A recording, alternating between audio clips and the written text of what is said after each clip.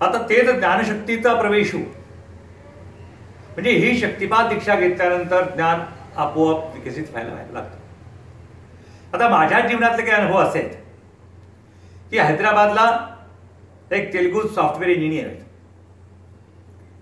आणि ते साधनेला बसल्यानंतर कर्नाटक संगीत उत्तम गातात. त्याला संगीताचा गंध नाही आहे पण साधना सुरू झाली की ते क्लासिकल कर्नाटक संगीत गातात. आमच्या अहमदपूरच्या शरयुताई जोशी आहेत. त्या प्रायमरी टीचर त्यांना काव्यलेखन वगैरे काही माहिती नाही. परंतु शक्तिपात दीक्षा घेतल्यानंतर त्यांची इतकी सुंदर काव्यरचना झालेली आहे की मोरोपंत आणि वामन पंडित अशा तुलनेच्या कविता त्यांच्याकडून निर्माण झाल्या आहेत. म्हणजे हे ज्ञान सहजपणे गुरुदेवांच्या कृपेने प्राप्त होत असतं. अनेक अशी उदाहरणं आहेत. कित्येक साधक औरंगाबादचे एक साधक आहेत ते साधनेला बसल्यानंतर कुराण म्हणायचे. ज्यांना हिंदी बोलता येत नाही ज्यांना उर्दू बोलता येत नाही पण साधनेत बसले की ते कुराण म्हणायचे म्हणजे मागच्या जन्माचे संस्कार हे सुद्धा बाहेर प्रकट व्हायला लागतात.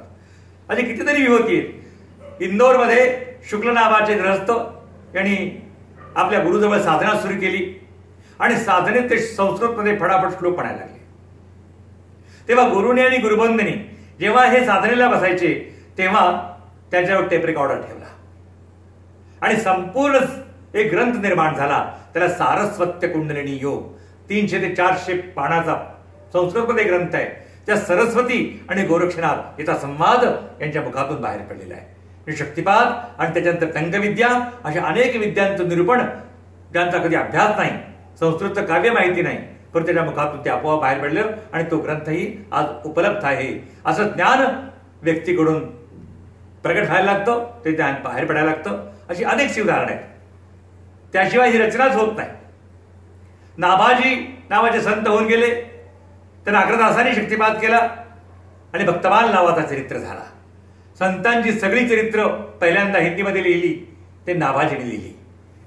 म्हणून माऊलींनी वारंवार सांगितलेलं आहे की शक्तिपात झाल्याशिवाय हे ज्ञान प्रकट होत नाही. आणि जगातली जेवढी उदाहरणं आहेत ते सगळी शक्तिपाताची उदाहरणं आहेत. संपूर्ण ज्ञानेश्वरी शक्तिपात सांगते. शक्तिपाताचं भक्तियोगामध्ये पहिल्या दहा ओव्यामध्ये संपूर्ण शक्तिपात सांगितलेला आहे. आणि त्यामुळं आपोआप ज्ञान प्रकट होतं हेही माऊलींनी सांगितलेलं आहे.